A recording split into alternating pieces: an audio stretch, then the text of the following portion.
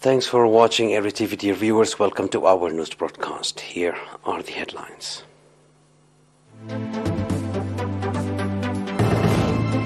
World Diabetes Day observed nationwide. Meeting to strengthen organizational capacity of youth in Foro. Mozambique announces first liquefied natural gas export shipment. Opposition protesters scuffle with police in Albania.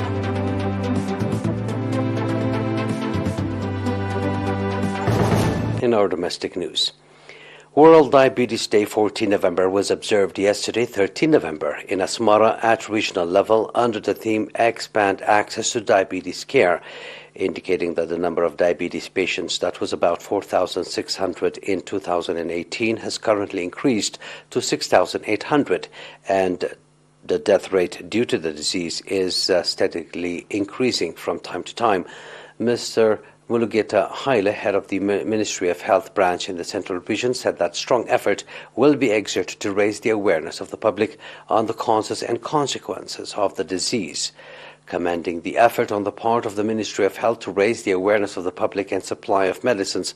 Colonel Gabrahanis Gergish, Director General of Social Service in the region, expressed readiness of the regional administration to stand alongside the ministry in all its endeavors. Dr. Goitom Mabratu, chairman of the National Diabetes Association of Eritrea, on his part said that the objective of the observance of World Diabetes Day is to develop the understanding of the public and called on patients to practice regular diet and physical exercise, for they are decisive weapons to combat diabetes.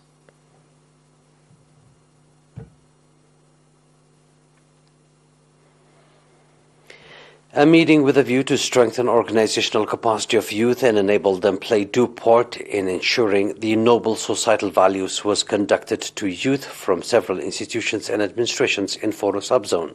Speaking at the event, Mr. Mohammed Said, member of the Executive Committee of Youth Workers Organization in the Northern Sea region, explained on the significant role youth in general and influential youth in particular have in the nation building process and in transferring the noble societal values to the young generation. At the occasion, 45 youth from government institutions in Foro subzone that were provided training on administration and leadership graduated. Mr.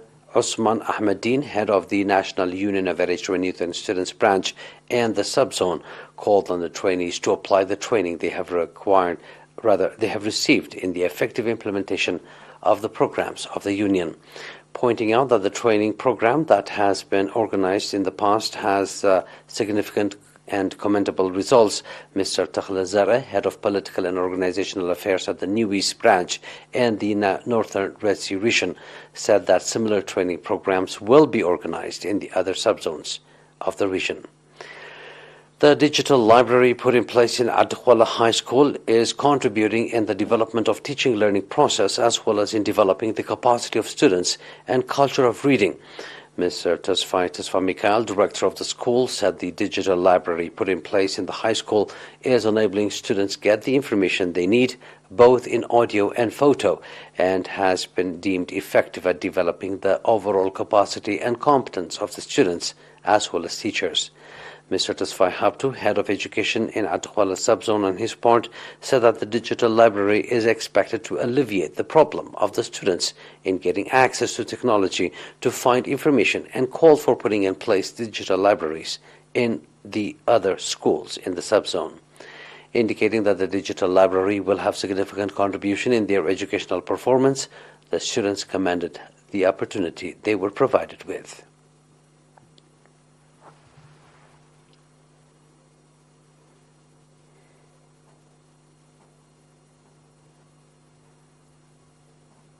That was our domestic news. Please stay tuned for the international right after the short break.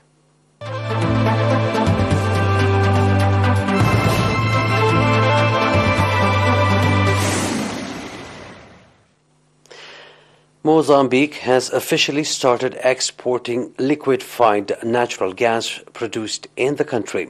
President Filipe Nyusi made the announcement Sunday, November 13. It is the first shipment of gas under a long-term purchase and state con- contract with British giant BP. The offshore plant located in the Cabo Delgado province in managed by the Italian energy company Eni Mozambique has set high hopes on vast natural gas deposits the largest ever found in the sub-Saharan Africa that were discovered in the northern Cabo Delgado province in 2010. Once tapped, Mozambique could become one of the world's 10 biggest exporters. According to the BP 2021 statistical review of world energy, Africa is home to over 620 trillion cubic feet of natural gas reserves. Through the production of LNG for domestic use and export, leaders hope to support industrialization schemes.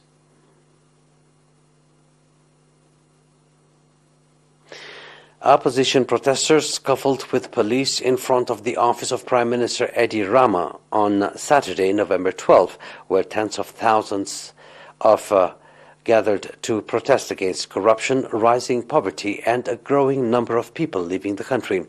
After demonstrating peacefully for around three hours, protesters broke through the police cordon area around the government building and threw red and black paint. Police arrested one protester.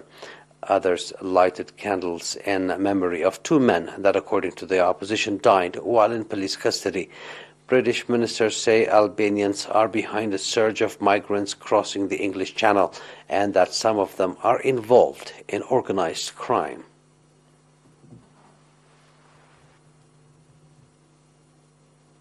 Please stay tuned now for a recap of tonight's headlines.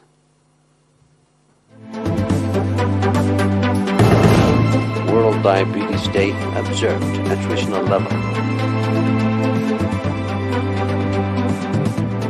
Meeting to strengthen organizational capacity of youth in Foro subzone.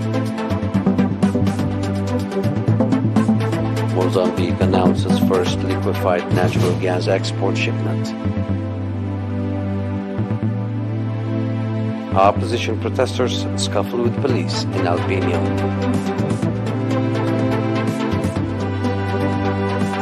Those are news. It is good night from us.